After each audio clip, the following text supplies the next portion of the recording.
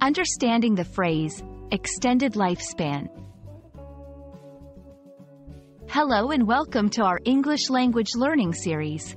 Today, we're going to explore a fascinating phrase, extended lifespan. This phrase is not just a combination of two words but holds a deeper meaning, especially in our rapidly advancing world. Whether you're a student, a professional, or just curious about English, understanding such phrases can enrich your language skills. So, let's dive in. Extended lifespan is composed of two words, extended and lifespan. First, let's look at each word individually. Extended means made longer or larger. It's often used to describe something that has been increased in duration or size. On the other hand, lifespan refers to the duration of time that a living thing, like a human, animal, or plant, is expected to live.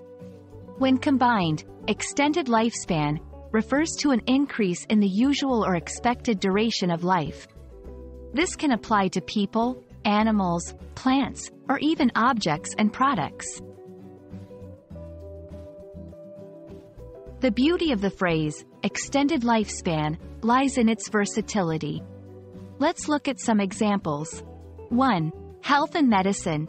In medical terms, extended lifespan often refers to the increase in human life expectancy due to advancements in healthcare, nutrition, and living conditions.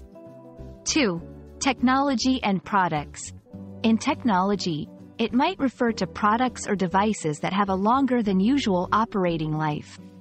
For instance, a battery with an extended lifespan lasts longer before needing replacement.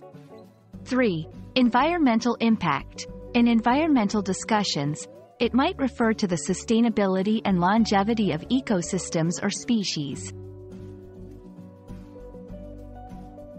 Understanding extended lifespan is crucial because it's often connected to significant topics like health, technology, and the environment. It's a term that can lead to discussions about quality of life, ethical implications in science, sustainability, and the impact of human activities on the planet. I hope this video has given you a clear understanding of the phrase, extended lifespan, and its various applications.